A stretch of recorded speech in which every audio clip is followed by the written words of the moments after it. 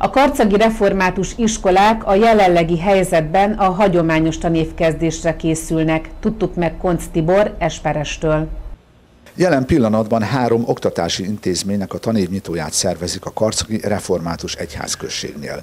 Mint Konc Tibor Esperestől megtudtuk kettőnek, a Karcagi Nagykun Református Általános Iskolának és a Karcagi Nagykun Református Szakgimnáziumnak a nagy templomban kell megvalósulni, a harmadiknak a Szentanai Középiskolának a megszokott módon az iskola épületében. Az általános iskolánál ezek az egészségügyi szabályok, azok még ennél a hatalmas templomnál is, ami 2500 férőhelyes, de hát a jogszabály az jogszabály, be kell tartani az 500-as limitet, ezért ez az augusztus 31-i tanévnyitót, amit mi megálmodtunk, azt föl, fölülírja, és ennek köszönhetően ez egy délutáni időpont, a tanévnyitó.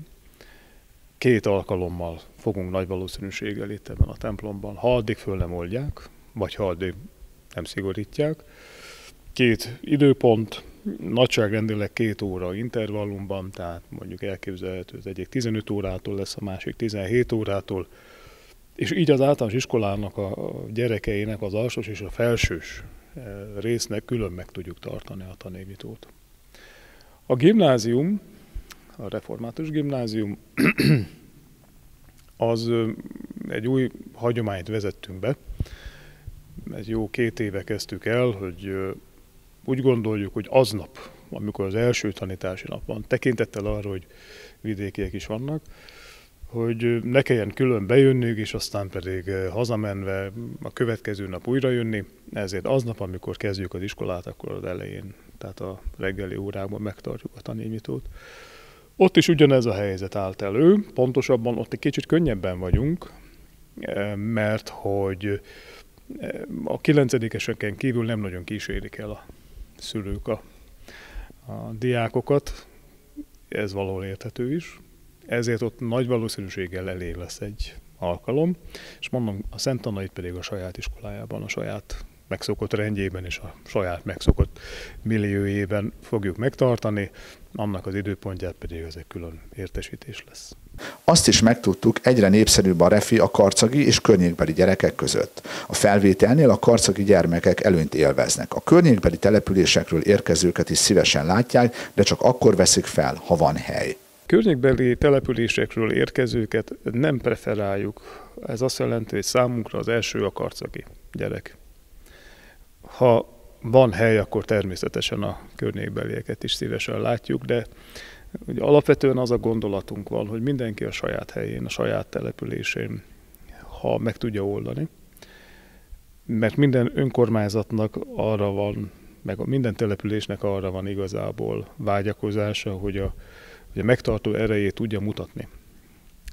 Természetesen azok, akik viszont református iskolába szeretnének jönni, és a környéken nincs olyan olyan település, ahol ők laknak, nincs erre lehetőség, akkor természetesen be fogjuk fogadni, és be is szoktuk fogadni.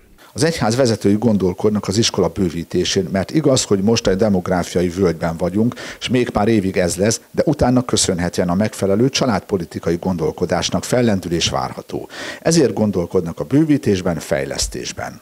Mindenképpen gondolkodunk az iskola bővítésén mert igaz, hogy most még demográfiai völgyben vagyunk, és még egy pár évig a demográfiai völgy lesz, de utána számolunk azzal, hogy azért köszönhetően a megfelelő családpolitikai gondolkodásnak, hogy, hogy visszafelé fog lendülni. De ezért már a jövőben gondolkodunk, és a jövőnek készülünk. Ez nem nagy fejlesztés jelent, meg nem nagy bővülés, de az, hogy, hogy jól tudjunk működni, ezzel számolunk. Ez azt is jelenti, hogy most például ugye 70 fölött van a beiratkozásnak a száma. Ez ha így marad, ez csak egy egyszerű matematika, hogy 8 évfolyamnál ez már több mint 500 gyerek. Tehát több mint 500 gyereknek az elhelyezését ezt nem lehet fejlesztés nélkül megoldani.